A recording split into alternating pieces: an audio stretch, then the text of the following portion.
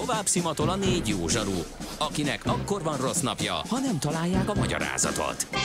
A francia kapcsolat a Wall Streetig vezet. Figyeljük a drótot, hogy lefüleljük a kábelt. Folytatódik a millás reggeli, a 90.9 Jazzy Rádió gazdasági mapetsója. A pénznek nincs szaga. Mi mégis szimatot fogtunk.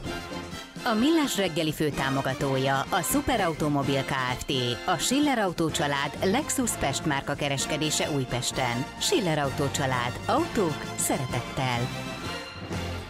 Köszöntünk minden kedves Millás reggeli hallgatót, rajongót, ez a 9.9 Jazzin futó reggeli műsor utolsó órája, Mihály Csandrással. És Gede Balázsjal a hallgatók forradalmai elzúgtak vala 0 a 30 20 10 9 0 9 csendes, újra csendes. Szerintem Aha. beértek a gyerekek az iskolába, a szüleik pedig nagyon helyesen elkezdték termelni a GDP-t, úgyhogy csak így tovább. Nem is érdekel, hogy mi történik a budapesti utakon, bár baleset van a Könyves Kálmány körúton, a Kőbenyai út felé a Mester utca előtt a belső sávba, de erre hányunk fittyet, mert hogy sokkal fontosabb dolgunk van.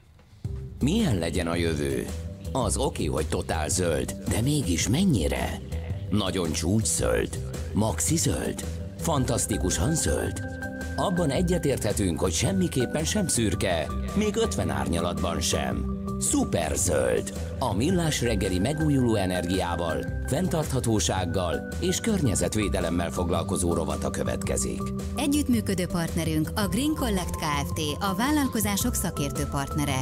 Green Collect. Hulladék gazdálkodásban otthon. Egy izgalmas új tantárgy. Bizony, de nem tud, régi új. Régi mert, új. hogy tavaly szeptember óta már középiskolában lehet fenntartatóságot tanulni, de, de most már érettségizni is lehet belőle, ha minden igaz. Hogy mi ez a fenntartatóság tantárgy, hogy kerül a gimnáziumokba, erről fogunk beszélgetni Matolcsi Miklossal, a Zöld Föld fenntartatósági oktatási program vezetőjével. Jó reggelt kívánunk! Jó reggelt kívánok! Jó reggelt! Először is miről szól maga a tantárgy? Mit, mit, miről, meg hogyan tanulhatnak a, a hallgatók, akik ezzel foglalkoznak? Hát nevében is benne van, tehát fenntarthatóságról szól. Köszönjük, Köszönjük szépen, viszont hallásra. De ezen belül, igen. Igen. Ezen belül Igazából mik... arról uh-huh. azt mhm. próbáljuk a diákoknak bemutatni, hogy a saját életükben, a hétköznapjaikban, vagy abból kiindulva, hol találkoznak a, a fenntarthatóság kérdéseivel, és mit tudnak tenni.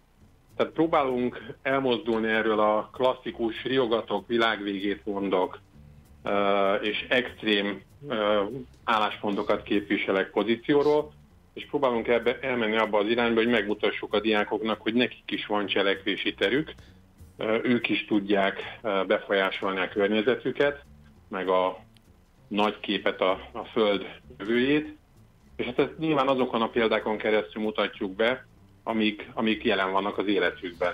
Ez mondjuk nem annyira haszontalan, mert uh, ilyen generációs szakértővel beszélgetve ő felhívta a figyelmet, hogy a klíma szorongás, mint olyan, pont ennek a középiskolás generációnak a sajátja. Igen, ezzel mi is találkozunk, tehát a tankönyv mellett egyéb nagy országos fenntarthatósági programokat szervezünk, 1800-2000 iskolában, és köztük vannak középiskolások, és igen, érkeznek a tanároktól visszajelzések, hogy, hogy a, a megjelent Magyarországon is ez a klímaszorongás. Hát mi ezt próbáljuk oldani, hát próbálunk valami olyat mondani, megmutatni, ami, hát ami oldja ezt a feszültséget. Miért középiskolában, illetve miért külön tantárgyként, hiszen gyanítom a földrajzban vagy a biológiában szó esnek ilyen fenntarthatósági dolgokról is, illetőleg hát azt szokták mondani, hogy a, az ilyen fontos dolgokra nevelés nem elég, nem lehet elég korán kezdeni. Igen, hát ez is több kérdés volt hirtelen. Igen, Igen már hozzá se akartam tenni, hogy há, milyen, hány óraszám, vagy milyen óraszám. Azt majd később. Igen. Az is, arra is kitérünk. Tehát, hogy miért középiskolában valahol el kellett kezdeni. Uh-huh. És uh, hosszas értékelés, gondolkodás után azt mondtuk, hogy kezdjük el a középiskolában. Nagyon-nagyon nagy tudományos háttere nincsenek a döntésnek. Arra gondoltunk, hogy ebben az életkorban a fiatalok már gondolkodnak, érvelnek, nyitottak a világra. Hát érdemesebb megvárni egy érettséget ahhoz, hogy, hogy jó táptalajra lejjen ez a... Így van. Aha. De ezzel együtt nem állunk meg a középiskolánál, tehát a terveink szerint, sőt ez már több mint terv, elindult az általános iskolai tananyagnak a fejlesztése is. Tehát, hogy a, a cél az, hogy az óvodától az egyetemig mindenütt jelen legyen ez a gondolkodás, Nagyon jó. a tantárgy. De hát nem lehet egyszerre minden. Tehát valahol elkezdtük, ez a középiskola, aztán haladunk tovább az úton.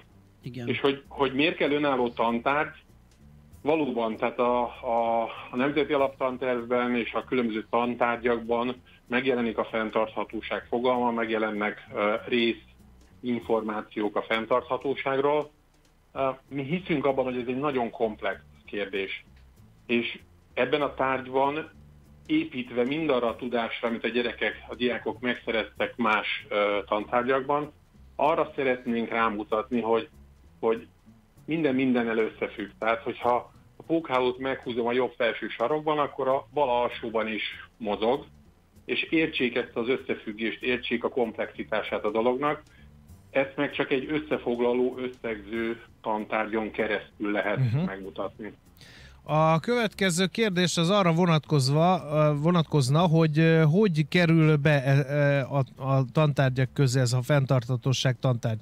Ez a gimnáziumok döntése, a diákok is presszionálhatják esetleg az adott oktatási intézményt, vagy a Klebersberg Oktatási Központ rámutatott néhány intézményre, hogy akkor itt lehet ilyet tanítani. Hát ez a néhány, az már 218 középiskola, ugye?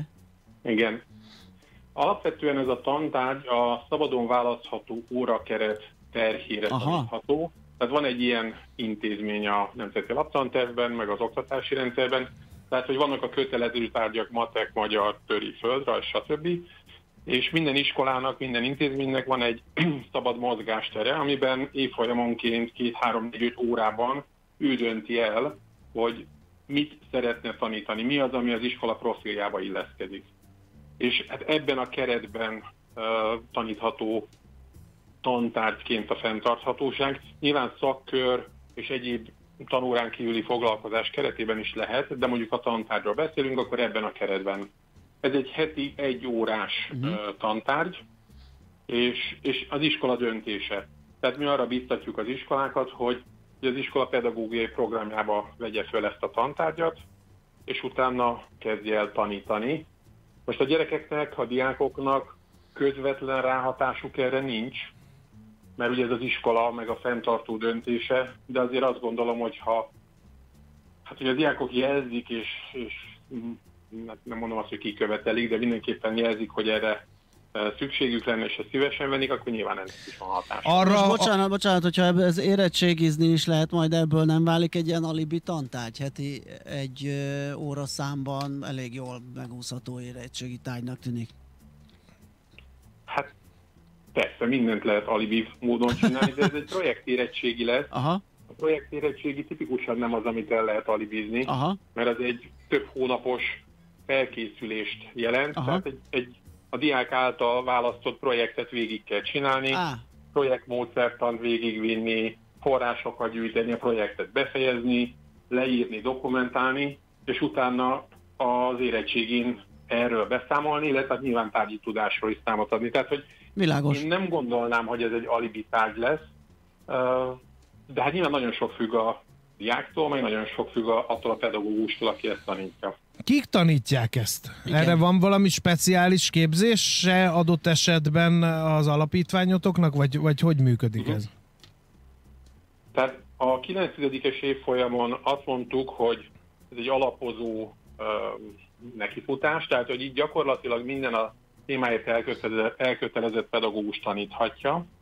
A 11-12-es évfolyamokon, ahol ugye már érettségi tárgy, ott csak természettudományos végzettségű kollégát, vagy kollégának lehet ezt tenni. De mind a két évfolyamban számos képzést biztosítunk a tanároknak, ezek ingyenesek, tehát van egy 30 órás kreditált kreditpontot érő képzésünk, van egy ilyen iskolai 5-6 órás, mondjuk úgy, hogy étvágygerjesztő, ahol, ahol az adott iskola tanári karának, meg a környező iskolákból oda jövő pedagógus kollégáknak bemutatjuk a programot, illetve hát rövid időn belül reményeink szerint februárban indul a Corvinus Egyetemmel együttműködve egy két éves fekete öveseknek szóló másoddiplomás képzés. Ennek most mm, zajlanak az előkészülete, illetve azon már túl vagyunk, tehát hogy a képzés összeáll, csak még itt a végső simítások zajlanak. Um, ha valakinek felkeltette az érdeklődését ez a, ez a történet, de nem feltétlenül tudja megoldani, hogy a gimnáziumba ezt hallgathassa, vagy oktathassa, annak van alternatív lehetősége? Mondjuk amiatt, hogy valamiféle ilyen pályára készül, és ez jó alapokat adhatna a későbbiekhez. De most itt uh, diákról vagy tanárról? Is. vagy felnőtt képzésről. Vagy, vagy egy kóbor honpolgár. E, igen. A kóbor honpolgárnak ott van a legnagyobb barátja a Google. Most beszéljünk igen. diákról és mondjuk tan- tanárról. Uh-huh. Uh, hát igazából maga a tartalom, tehát ami a, a tananyag, tehát a tankönyv, a munkafüzet, a pedagógiai módszertani kézikönyv, a képzések anyaga, ezek mind elérhetők a, a programnak a honlapján, ez a zöldkötőjelföld.hu, ez zöldföld.hu. Itt minden elérhető, a tankönyv rendelhető a Kellónak a, a webshopjából, ugye a Kelló az a könyvtárellátó, Aha. ami az iskolákat a tankönyvekkel ellátja, tehát elérhető és bárki által rendelhető. A képzésekre a rendelkezésre álló helyek mértékéig bárki jelentkezhet, aki pedagógus, és hogyha időben érkezik, akkor nagy szeretettel várjuk. Tehát, hogy elég széles körben elérhető. Nem tudom, hogy ezzel válaszoltam el a kérdésetekre. Igen, Szerintem igen, mert e, egyébként többen kérdezik is e, furcsa módon ezt, tehát valamiféle érdeklődés felkeltett a beszélgetés, úgyhogy helyes, jó, jó helyes, irányba haladnak a, a dolgaink. És e, mi, mik a tervek? Még erről beszélünk, mert elszaladt az időnk, hogy oké, okay, most ugye 218 középiskola, igen. meg most már érettségi tárgy, lesz 2024-ben, lehet majd ebből érettségizni. Mi van a tarisznyában? Lehet-e látni, hogy ez egy növekvő érdeklődés, stagnál a dolog, vagy nagy Isten nem jöttek be az elképzelések, és vissza kell majd lépni Sajnos egy ilyen fontos tárgytól. Mert a pénzügyi tudatosság tárgy is valami ilyesmi, hogy nagyon-nagyon fontos lenne, de az is választható, meg, meg hol ennyien érdeklődnek utána, hol annyian, szóval nehéz Nem bírt igazán gyökeret ereszteni igen, igen, az alaptanterbe.